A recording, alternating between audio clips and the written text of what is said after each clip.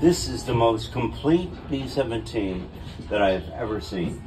This really is similar to the way it would have looked during the war.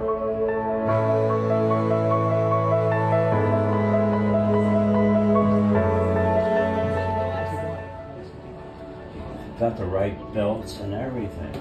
This is wonderful. These are the waist guns.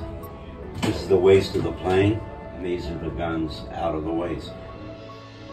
The bomb bay is beyond that.